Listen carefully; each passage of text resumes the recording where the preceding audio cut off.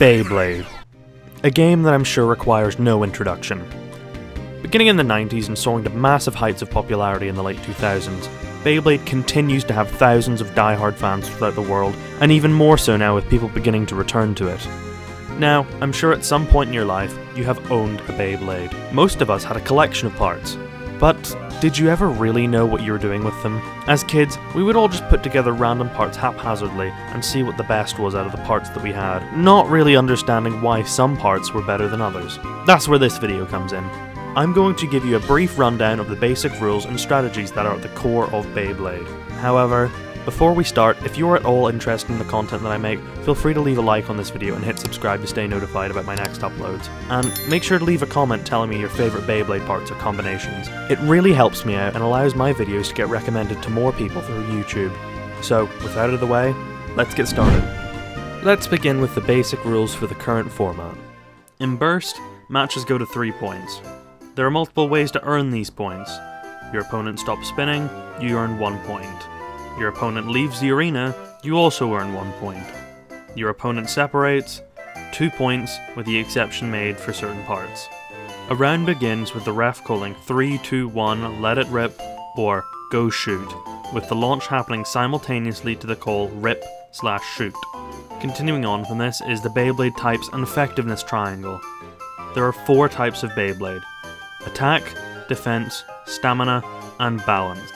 It should be self-explanatory what each does, but for clarity, I'll explain anyway. Attack types usually revolve around moving fast to their advantage.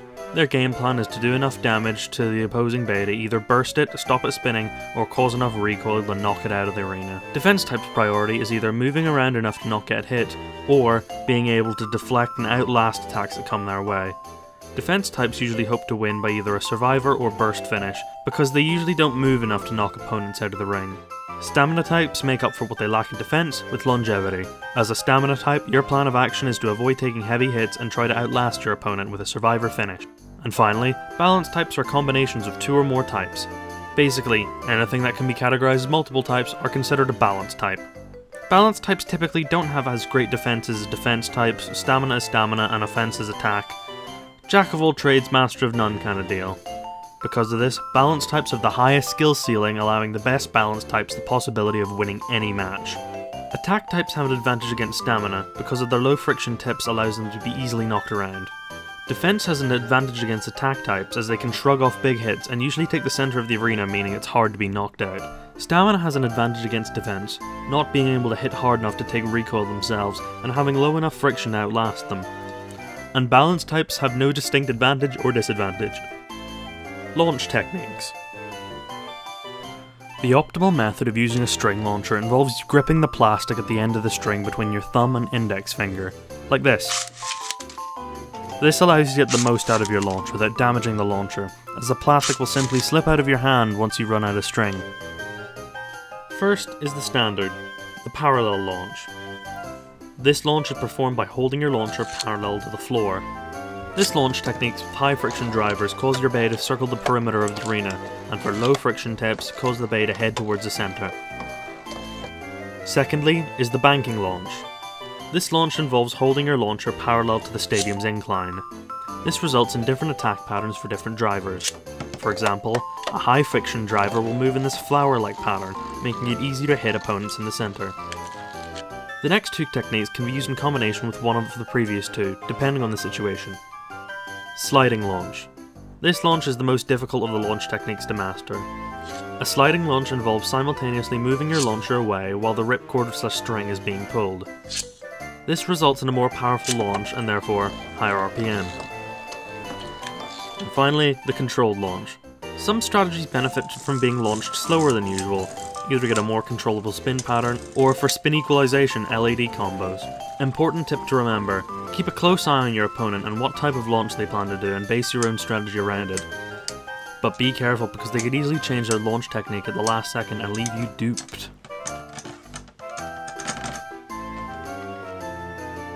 Let's talk parts. Due to the recent resurgence of people returning to Metal Fight, I'll give examples of what makes good parts in both series. In Beyblade Burst, your bay is composed primarily of three parts, the driver, the disc, and the layer.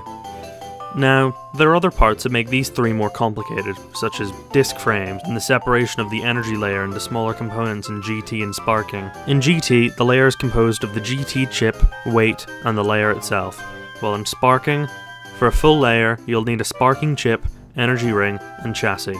Chassis can also replace the need for a disc and disc frame in the case of double chassis, like this here. In the Metal series, generally speaking, your bays are composed of five different parts, with a few outliers. You have the face bolt, energy ring, fusion wheel, spin track, and performance tip. Early Beyblades lacked the energy ring, and later on in Zero G or Shogun Steel, they decided to forego the face bolt and fusion wheel for stone face, chrome wheel, and crystal wheel. In my opinion, the most important part of the bay is the driver, or performance tip, as it is most influential on how your bay will move. Prime example of this is one of the first and best performance tips, rubber flat, or simply RF for short. RF is what your mind should immediately go to when you think offensive performance tip.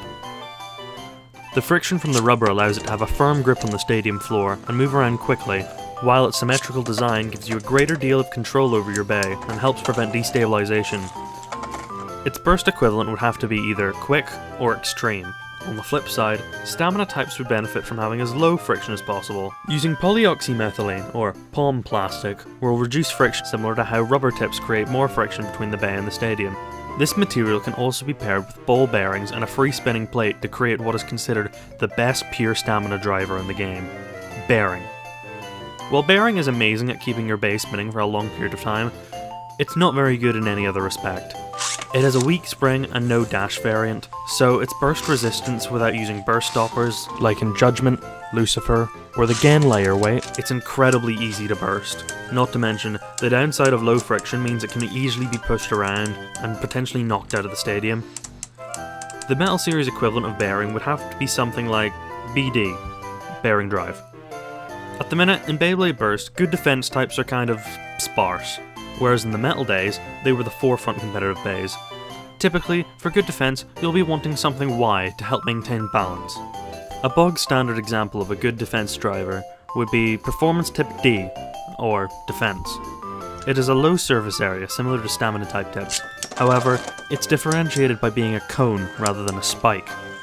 The cone of the performance tip helps it restabilize itself and prevent it from being knocked over at the cost of a little bit of stamina. And that looks like it'll be it for now. I may take a closer look at more specific elements of Beyblade in future, but starting off, that's all you really need to know. This video has been a fairly long time in the making, primarily researching and scripting, so hopefully with this project out of the way, you can be expecting more videos soon. Um, I don't have an outro. Yeah,